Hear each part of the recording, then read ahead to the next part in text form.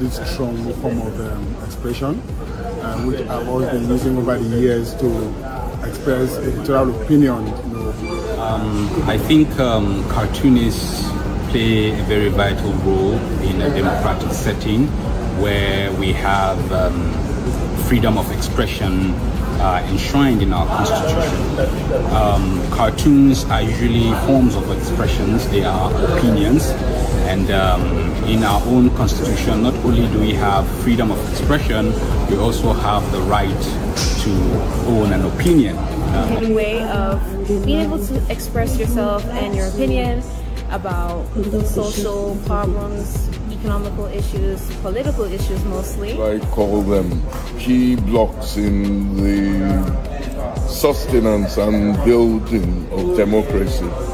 You can't have, without dissent and um, the right to to have your your your say. You, I mean, it's so key to democracy and good governance.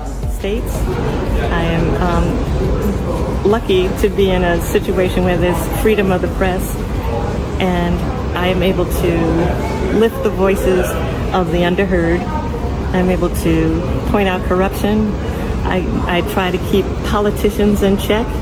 Um, and that is the, the goal of a political cartoonist.